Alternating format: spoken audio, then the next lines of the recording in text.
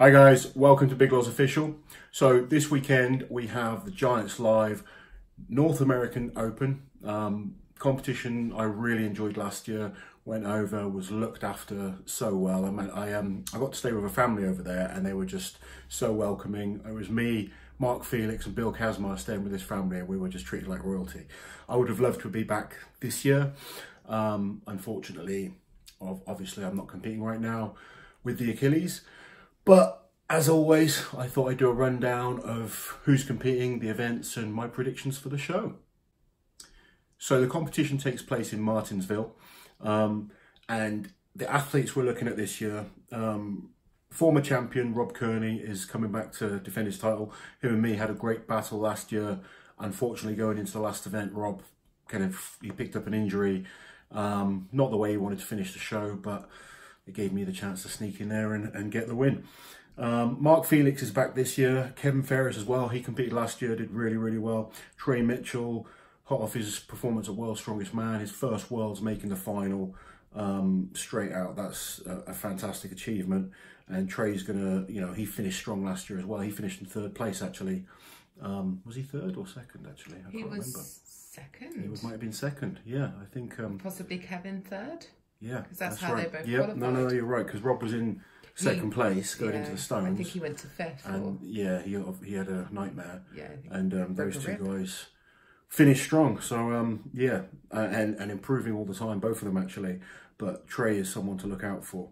Um, Eddie Williams, everyone's favourite singer. Eddie, I've met him at World's Strongest Man this year. What a lovely guy, and actually very very strong as well. He was really good at Worlds in his first year. Very, very big, strong man. Um, going to be interesting to see how he does. Brian Benzel's coming back this year. He's been to World's Strongest Man a number of times. Didn't perform his best last year in the North American Open, but he's a dangerous competitor. He's he's like the super sub at World's Strongest Man. He stepped in a number of times last minute and performs brilliantly. So a couple of new names as well to look out for this year.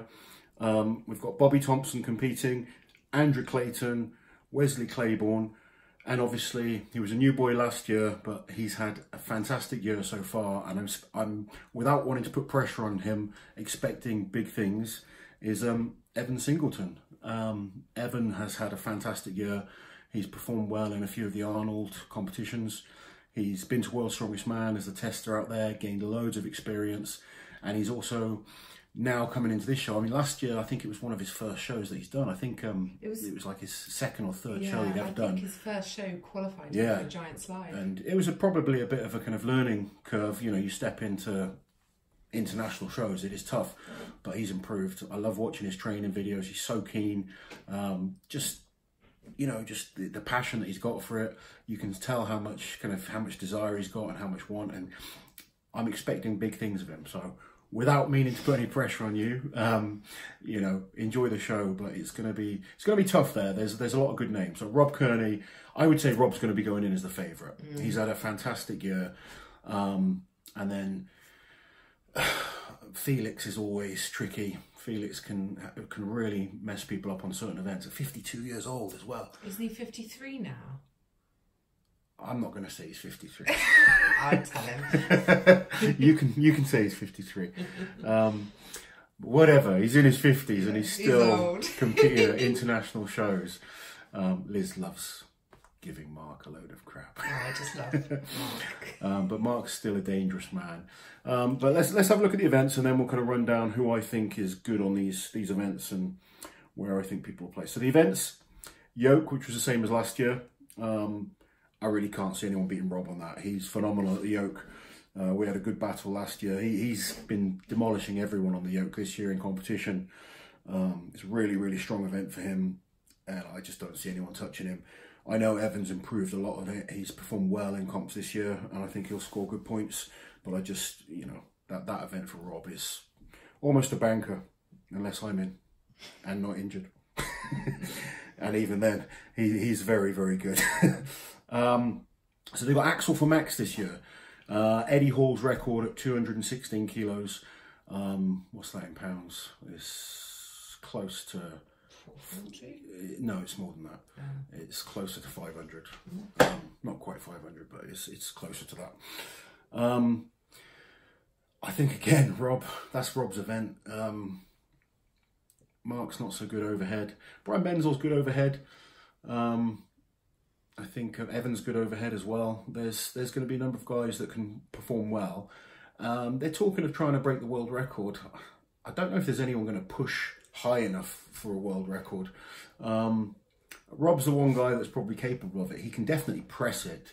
The thing with the axle is the diameter of the, the thickness of the bar, and, and, it doesn't rotate like an Olympic bar. It's much harder to clean than, say, a log or kind of like a standard bar. Um, and that's where the challenge is going to be for the guys. I don't think the press is going to be too much of an issue. Um, but I, I, think I've seen Rob doing 190 in training. Look good, but I don't know how much more he had in the clean. But I think around 190 is probably going to be enough to, to get the win. Um, I think you need the real kind of monsters, monster presses there pushing to get a world record. Uh, I think if Rob's smart, he'll just focus on winning the show, qualifying for World's Strongest Man, and waiting for a bigger opportunity to break the record. But that being said, Rob's a, you know he's keen and he's he's hungry to break records. So I might be totally wrong, and he may jump straight for a world record attempt. Um, which again is, I mean, if you, if you do win with a low enough number, that's not a bad idea to do. If you're going to go for a record, take a big jump and just have a crack at it. But I, I think if he if he wants some old man's advice, I'd just focus on getting the win and, and focusing on the rest of the competition. Um, but that's just my opinion. we know I'm not always right. uh, what else have we got? Max Axle front bar car deadlift. So like it's just a car deadlift, but with a bar at the front. That's Mark Felix's kind of event. Mark's a, deadlift machine, uh, particularly for reps. Um, he, he's so good at, at deadlift, uh, and and still even now. I mean, maybe not quite as good for max, but for repetitions, his endurance in his back is phenomenal, and he just manages to keep going and going and going. He always performs well on those type of events. It's very rare he gets beat. Even even guys like Eddie struggle to beat Mark sometimes um, on a deadlift for reps, particularly if it's not really really on the heavy end. I'm not sure what the weight is. I don't have the weights. Um, I haven't had the weights given to me on in terms of what they are lifting. So I'm going to guess it's going to be around the 340, 350 mark, 350 kilos. Um, and, you know, it's a decent weight. But, and on a car as well, it's never the same as on a bar. It's, you know, they'll say the weight, but at various heights it, it changes. And Mark's very, very good on car deadlift. So I think that's going to be a good event for him to pick up some points again. They got Farmers Walk this year. Uh, Farmers Walk which again is another great event for Mark Felix. I know Evan's getting better. Uh, and this is probably the one event that holds Rob back a little bit. His grip isn't quite as as, as good.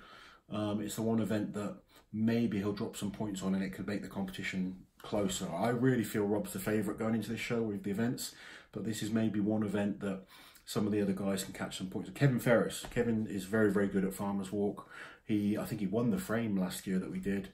Uh, he moves really, really quickly. Uh, so watch out for him on the farmers. So, you know, there could be a few people that manage to beat Rob on that event and, and make things interesting going into the Atlas Stones. Atlas Stones standard in strongman these days, almost in every competition. I think from a personal point of view, I'd like to see some different events. Um, not, I love stones, but it's just they're in every competition. I think it would be nice to have some competition, maybe some natural stones or or just something different to end the competition. It doesn't always have to be Atlas stones. It's sort of strongman's evolved and it's now like right, every competition ends on Atlas stones. But it wasn't always like that. There's been many, many World's Strongest Man competitions with no Atlas stones whatsoever. Um, so it's you know I think it's a fine event. I like it. I think it's good, but I don't know that we need it every single comp because it just gets boring. It's the same. I, I like variety in terms of strongman. Um, so maybe Giants Live or one of the competitions will put on something dear other than Atlas Stones as the last event in a show, just to just to mix things up a little bit. But um, crazy. yeah, well, there's so many events that we can choose from. You know. Uh, you've probably got 50 to 100 events that you can, you know, where when you start changing, whether it's reps, max, you know, throwing events, moving events, there's so many different events out there. I think it doesn't always have to be Atlas Stones to finish a show, but you, I won the Atlas Stones last year, and it, and it won the show for me. So, you know, from a per, from a, from an athlete's point of view, they're, they're, they're fine. I, I think Stones is always one of those events that if you're going into the Stones in a good position, and it's the last event, then you tend to do better. If you've sort of drifted away from the kind of you know top three or the, the chasing pack, if you like, to get to the qualifying spots for World's Strongest Man, people tend to not try as hard. Um, and most shows you see, it's the guys going in that are challenging for the title that will do best on stones. Um, but that was just you know just a quick video on this weekend's competition. It's going to be live streamed on official Strongman, I believe. Um, I will double check myself, but um, they seem to be live streaming most of the shows. Last year it wasn't on official Strongman, was it? But they did stream it on you on Facebook. I watched it on a Facebook page called Train Strongman. There you go. So you go. I'm sure it's going to be, you know, we'll, we'll search for it and try and find out for sure. Um, I'm going to try and watch it because, you know, I, I really did enjoy the show last year. It wasn't the, the biggest production in terms of like Giants Live. It's not quite as big as maybe say the the um, live events in the UK, but I really enjoyed the experience. The, the fans that were there were brilliant. The organisation was really good. Everyone involved, kind of behind the scenes in Martinsville, is really good. Um, they got a nice team that worked together, and the weather was good as well last year, which always Yeah. makes it fun. Do you know what? This year would have been really good events for you as well, wouldn't Uh, it was good events last year, to be honest, and like, this year's good events as well. But it's not about me today, unfortunately. uh, maybe next year I can go back. If they're doing it next year, I might get an invite. But um, I'm going to enjoy watching it. Predicting Rob Kearney to come out on top with Evan Singleton second, and a real battle between. God, there's so many. Trey, Trey could be second, a third. Brian Benzel, if he puts in a good performance. Felix, Kevin. There's lots of guys that could be battling for that third spot, I think. and is this an official qualifier for next year's World? Yes, it is. All- All the Giants Live are, are official qualifiers, so the top three will be guaranteed their spot at World's Strongest Man next year. Um, that's about it on that. Everything to fight for them because none of. Oh no, I guess Trey might have qualified. Oh, I don't know. Who knows? World's, mo- Everything to most fight fight, most fight, yeah. Well, that's Yeah. another video. Most finalists for World's Strongest Man.